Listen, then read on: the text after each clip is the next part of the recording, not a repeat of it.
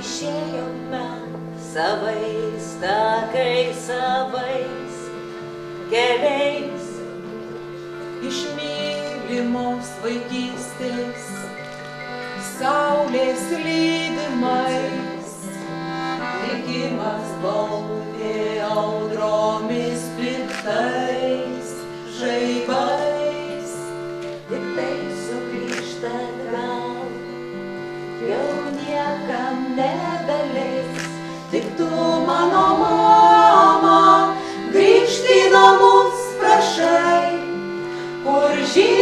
jos ilgos linai, linguoja vaikystės veržai, tik tu viena mama, lauki varimus tenai, nežiūrėk į kelią liūdnai, kai grįžta suaugę vaikai.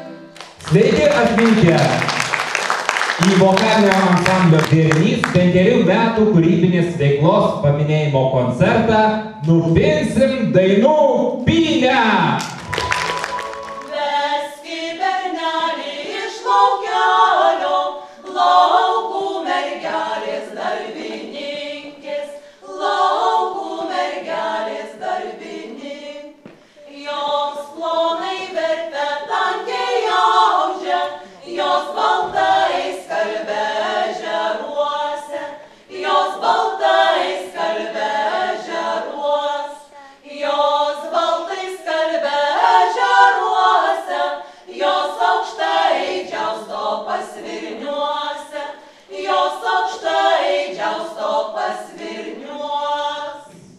Kaip sako pačios ansamblietės, svarbiausia neapsiriboti vienu stiliumi, o dainuoti įvairias dainas. Romansai, meilės dainos, kurias netrukus išgirsite, lainu neša jūs ten, kur norisi būti mylimiems, kur norisi mylėti, kur sunkus įsiskyrimo kartėlis ir neviltis pasimiršta.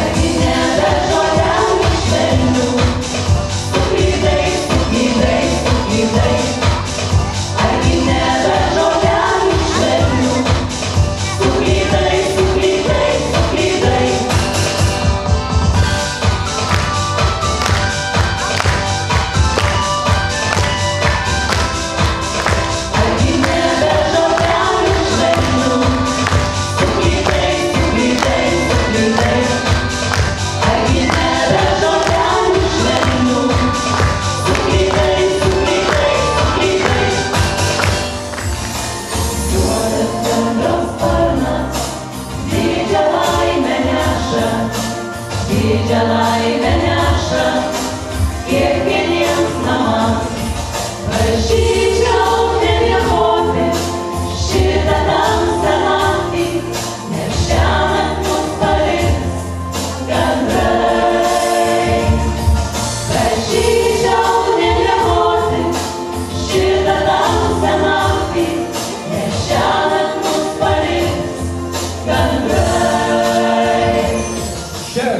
Nuostabią progą aš norėčiau pakalbinti pačią ansamblio vadovę. Sakyk, Ilona, kaip kilo mintis suburti tokį gražų, nuostabų, unikalų ir charizmatišką kolektyvą? Matai, Mindaugai, daugiausia labai daug gražių moterų, reikėjo jas kažkaip suburti, bet tai va taip ir kilo mintis. Aš pastebėjau, kad yra graži moterų, tikrai pastebėjau. Aišku, visos dainingos, visos gražios, visos nuostabios, labai šaunu. O dėl ko vėrinys, kodėl vėrinys, kodėl ne koks kitoks? Matai, e, buvo keturios, po to vėlėsi daugiau, daugiau, bet taip ir susivėlė, o gal dar nesivers? Bus matyti. Po šio koncerto aš manau, kad tikrai dasivers. Dienomis,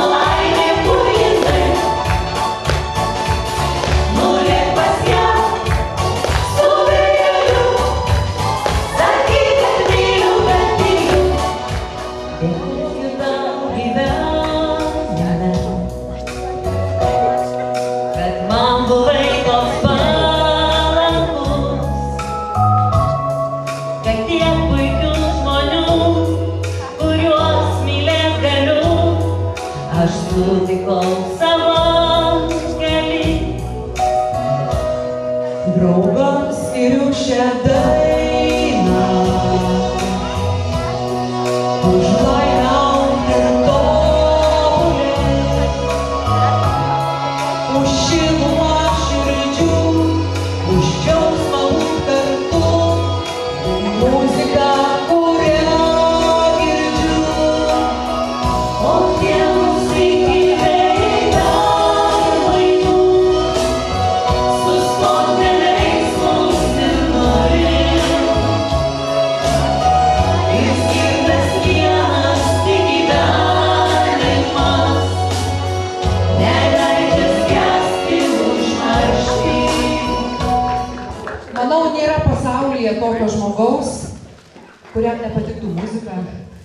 Kurio nelydėtų muzika, nes muzika tai yra viskas.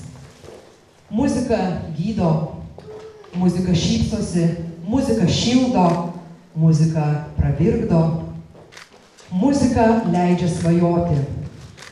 Mėly mūsų vadovai, jūs ir esat mūsų muzika, kurią mes dainuojam.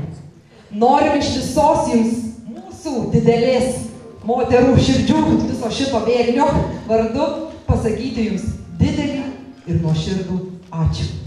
Čia jums tokia atminimo dovanėlė, visiems, kuris galėsite įsigyti. Ir aš tikrai sutinku, pačios gražiausios draugų moteris. Didžiuokitės. Ir draugai irgi didžiuokitės mylėjai. Jų akis visada spindi, jų veidė visada šypsena. Tiesiog aš jums noriu visada tokiams išlikti.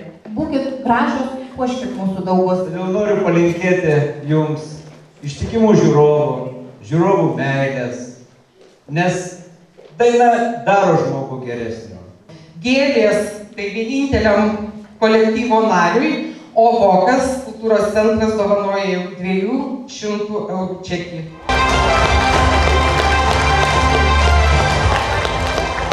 Ir pasižiūrėjom skaidrės, o kad gražių tarpanėlių turi, o vėrinių ir perlų. Ir galvojam, kad merginos paišlaidavot, tai mes jums taupyklę, kad būtumėt čiučiu šiais laikais taupesnės. Ir aš labai tikiuosi, kad jūs tapsit įkvėpimu visos Dzukijos, Dzukijos moterims, kad jos jungsis į tą vėrinį. Tai klestėkit, gyvuokit ir tikiuosi, kad tas jūsų vyrukas tą vėrinį prates. Tai beveik visas ansamblis iš mano buvusių mokinių reiškia mano darbas nenorėjo gauti.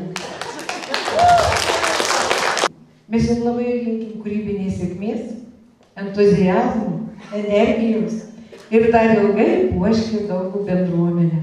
Linkim jums didžiausios kūrybinės sėkmės ir asmeninė gyvenime didžiausios laimės. Gyvuoti dar ilgai. Žinau, kiek ir jų nervų kainuoja tai, bet labai mane džiugina jūsų rezultatai.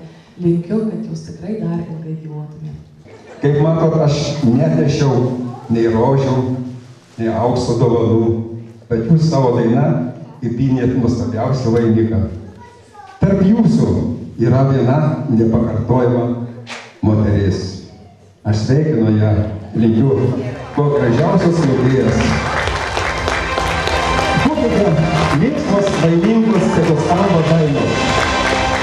Tai aš pasitariau, kad važiuoju į penkių metų gimtadienį, tai man patarė galbūt nupirkti žaislą, ar elementorių, nes reiks mokytis tam vaikui, galbūt Krišto sūnui. Tačiau aš pasakiau, kad tai jau žmonės suaugę, jie viską moka, viską gali ir jau nebėra ko mokyti. Dar kartą dėkojame už šiltus, gražius, nuoširdžius sveikinimus. Gimtadienis lytėjas